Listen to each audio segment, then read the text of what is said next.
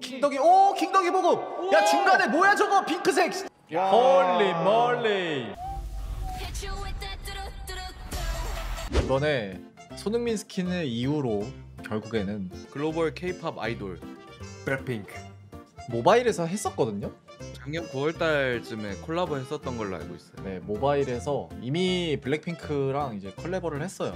모바일 안에 이제 로비 배경음악에다가 이제 블랙핑크의 노래가 나오고 앨범이 새로 나오면은 거기에 또 신곡으로 교체를 해주고 이렇게 블랙핑크 비행기가 네 뭐 이런 식으로도 만들어지고 모바일에서도 했었던 콜라보를 이제 PC판 배그에서도 콜라보를 한다고 합니다. 결국 우려했던 일이 일어난 것 같아요. 이번에는 얼굴 스킨도 같이 나오긴 하겠지? 얼굴이 또 번들로 해서 팔고 그리고 의상이랑 헤어스타일도 또 번들로 이어서 팔고 그리고 블랙핑크만의 그 춤 같은 것들 그리고 블랙핑크 스킨이 잔뜩 묻은 가방 나- 게다가 낙하산에 YG 엔터테인먼트라고 써 있어요. 그리고 삼뚝에 이제 YG 뭐 이런 거 써 있고 배틀그라운드에서 이 스킨을 끼고 싸우면은 너무나 잘 보일 것 같은 스킨들의 색깔 그래서 나온 거에 대해 어떻게 생각하세요? 연예인들 스킨은 뭐 나와 나오는 건 전 좋다고 봐요.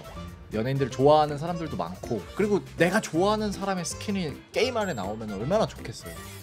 근데 항상 제가 얘기하는 거지만 이런 스킨들이 나오는 거 좋고 사는 사람은 사고 뭐 이런 건 다 다 좋은데 과연 이 게임성과의 연관성이 있나라는 생각을 한 번씩은 해요. 자 그리고 이번에 손흥민 스킨 한 번 나오면서 손흥민이 이제 번들로 판매가 됐었어요. 그 번들에 얼굴 스킨이 끼워서 팔았단 말이에요. 보너스 아이템으로.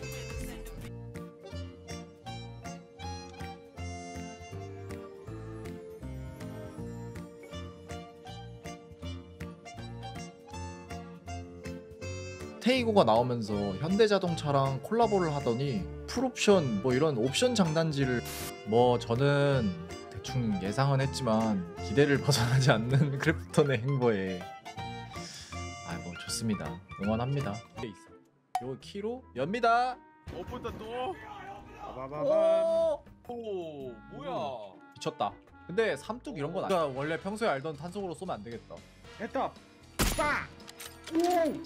뭐야? 어, 씨.